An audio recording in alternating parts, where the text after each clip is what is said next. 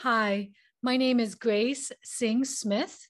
Um, I was born and raised in rural Northeast India in a village on the banks of the River Barak in the state of Assam. Politically speaking, I am of Indian origin, so I'm Indian American, uh, but my people, the ethnic group I belong to, historically came from the kingdom of Manipur, a princely kingdom, which only became part of India after India gained its independence from the British. I have been living in the United States since 2007, um, and I primarily write literary fiction and nonfiction. Today, I will read um, a short excerpt from a short story called The Resurrection of Dog.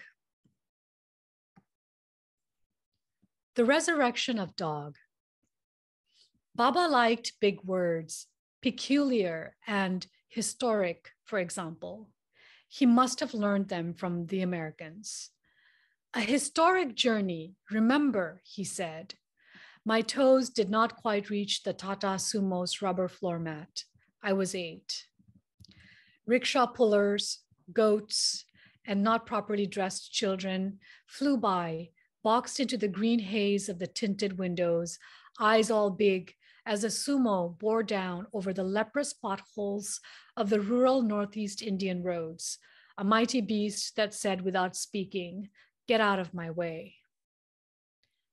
Baba and I were going from our village in Assam to a village in the neighboring state of Tripura. According to Baba, Tripura's main claim to fame was that Bangladesh almost ate up its borders. But there was something extra, extra about our destination, said Baba, something very few people knew about. The Tripuri village had sanitary toilets and clean pakka footpaths. We did not even have a paved road, much less a footpath. Just like America, Baba said, even though he had never been. When Baba told me the story of how the Lord had led the children of Israel to Canaan, I asked, why did he not take them to America? This he was not able to answer. Mama had stayed back because of hemorrhoids. I felt lucky, blessed, my parents always corrected me, to be Baba's sole companion on this historic journey. It was my first such long journey in the sumo. The Christian villagers brought 10% of their crops and earnings to a church with a steeple, Baba said. I had never seen a steeple, but I knew what it was from the magazines that were mailed to us. The appearance of each issue a miracle from the regular Presbyterian mission in USA. Eureka, Baba would say, Eureka, Eureka. The villagers with the majestic church were Darlong, we Manipuri. The only thing that linked us was faith in the Christian God, capital G. Baba had helped translate the Holy Bible into Darlong, even though he didn't know their language. How this was done, I did not understand and still don't, except that it involved Baba, who had studied Greek and Hebrew in seminary, acting as some sort of middleman between the Darlong translators and the Americans, doctor this and doctor that, who, as I understood it, were the bosses.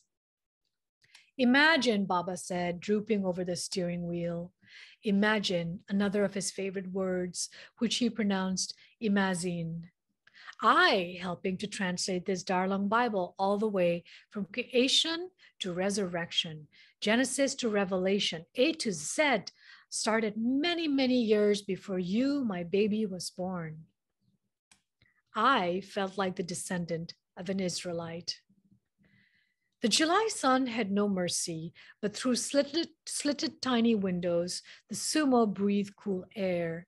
The seat, fuzzy and a little ticklish in the crook behind my knees, was even more comforting than my mother's lap. Outside, the paddy fields, the huts, the water pipes tried to run somewhere, rippling. My face hurt from having slept with clenched jaws, the night prior. For you see, in our village by the great river Barak, we were the only Christians. When I tried to join the other children in robbers and police, they yelled, pig eater. Mama and Baba said that we were called to live a separated life, but it was not easy to play house house by myself. And if I ran fast, who was there to catch me? All my attempts to join the neighborhood children in their games ended the year before our historic journey during the Yaosang festival. Even though I had been told Yaosang was a pagan festival, I desperately wanted to do Nakatang to beg for alms while holding a lantern made out of a split coconut shell. When the leader cried, Haribola, I wanted to add my voice to the chorus. Hey, Hari, even though I suspected Hari was part of a god's name, small letter G. That Yaosang, Mama was not home. She was visiting her parents in Imphal Baba was taking yet another nap. I couldn't have asked him to split a coconut shell anyway, so I saved an old Amul milk powder canister behind the guava tree out back. The rest was easy. A piece of wire stolen from Baba's desk drawer, where he stored cassette tapes without intestines, chick gospel tracts, and other such odds and ends. With the wire and a little candle placed inside the Amul canister, my lantern was done. The sky started to imitate my back when Baba had scratched my prickly heat, and a roasting smell made me hungry. The ceremonial straw hut was burning.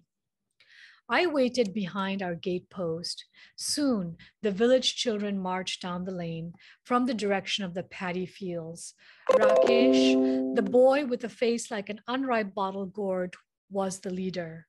When they had passed the fork that led to our gate, I came out of hiding. At first, they didn't notice or acted like they didn't.